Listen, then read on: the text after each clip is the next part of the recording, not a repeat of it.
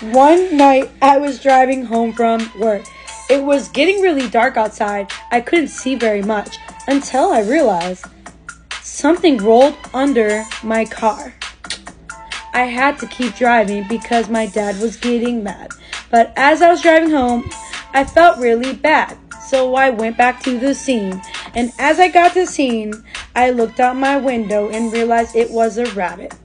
A rabbit that was dead. And so I got back in my car and looked again. And then the rabbit was freaking moving. So I went up to the rabbit and took another look. And then I looked and said, Oh my gosh, it's not a freaking rabbit, it's a cat.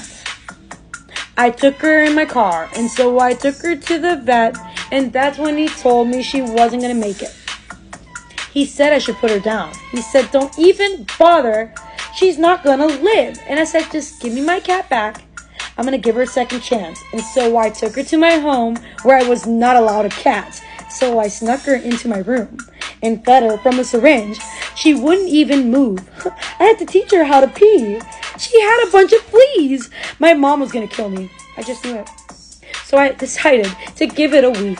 And so I waited and waited, and eventually she started using the restroom on her own.